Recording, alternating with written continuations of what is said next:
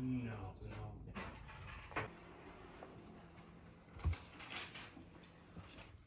All right, welcome to the channel, everybody. So in this video, hopefully I'm going to slap this whole situation back together. So as you can see, we have the stubs, we have a max, we have uh, the casing welded, all the bolts are in that bag. I got the gear oil, I got the gasket maker.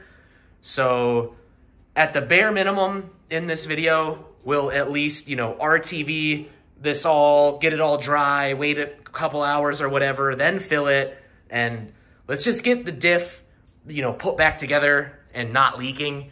That's my main priority today for now. So there's a couple things that I do want to talk about before I put you on the tripod and start assembling all this.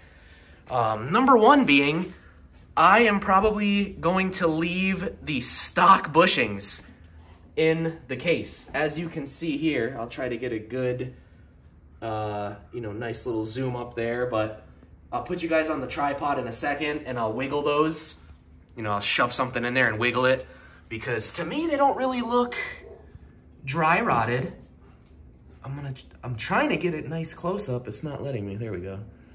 Yeah, they don't really look dry rotted and, and cracked and gross. So, plus, I mean, it's obviously going to be annoying to take it all back apart if those bushings eventually fail, which they will because they're probably, uh, what's this thing, 34 years old?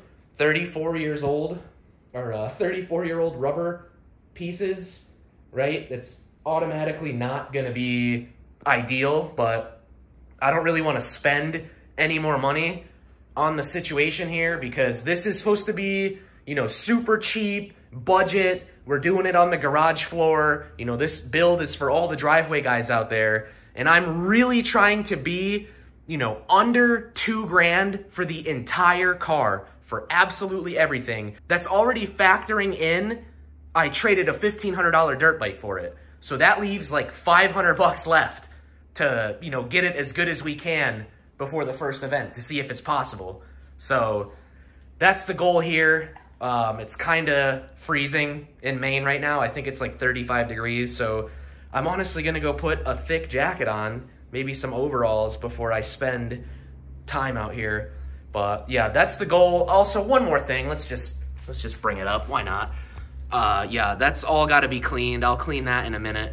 Um, but as you can see, actually, I don't know. You can't really see right there, there's four of these holes.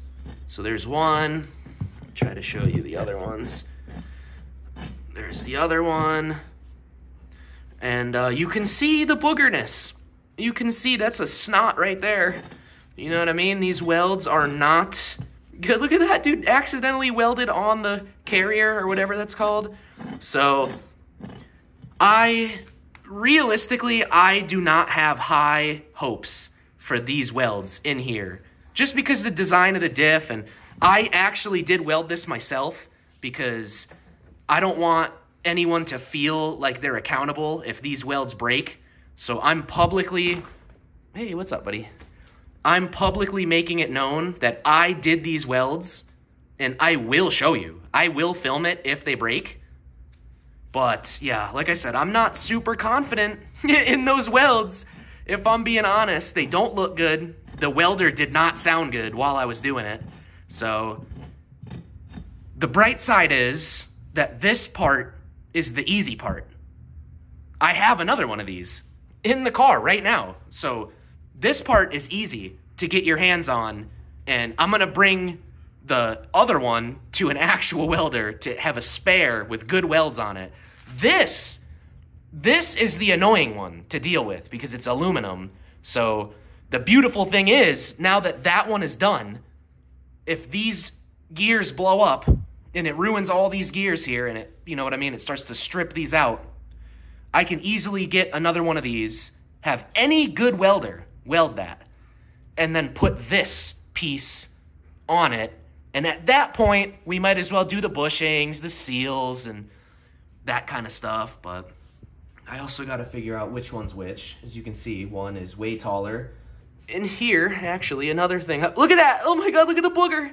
Look at the boogers in there. I gotta get like a flathead screwdriver and a hammer and knock all the boogers out of the splines and then shake all the like slag out of uh, you know, probably way down in there is a bunch of junk from, you know, the welder spitting up in there, but uh yeah.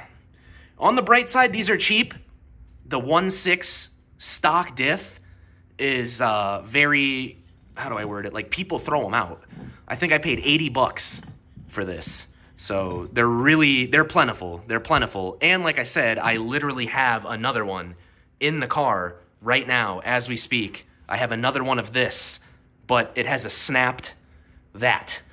So, yeah, anyway, before the rambling intro continues on for too long, let me uh, I'll throw a jacket on and let's start cleaning and RTVing. What I just did with this is I put it in my kitchen sink and I put a screwdriver, a really long screwdriver, down into here and just cleaned all the splines out. And then I flipped it and turned it a bunch of times while spraying the faucet up into it. So a lot of stuff came out. Is all I'm saying. There a lot of welding. What is it called? I don't. It was a MIG welder with gas is it still called slag? I'm not sure, but a lot of particles came out. If this car drives good enough to not need to be turboed, it's gonna burn no tires at all, which is gonna be so amazing. All right, I mean that surface minus uh, me not actually having brake cleaner looks okay. I never know how much to put on. I've done this plenty of times, believe it or not and I still to this day don't know what the perfect ratio of ultra black gasket maker is. So let's just do a nice little bead all the way around. We're going for the world's cheapest JDM drift build, bro. The Mustang was supposed to be world's cheapest drift build, but not only is this JDM, but I think we're gonna be into it for even less than the Mustang. All right, well, that's as good as that's gonna get probably. The question is, should I put a little bit more on the bottom? Yeah, because this is where it's gonna leak. This area right here, if it will leak. Any a better look there? Sending it. I think so. I could be completely full of it, but I'm pretty sure it goes like this.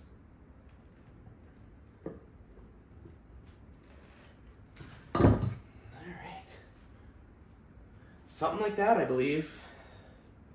We're, uh, we're getting it, I guess, dude. We're doing a Miata diff.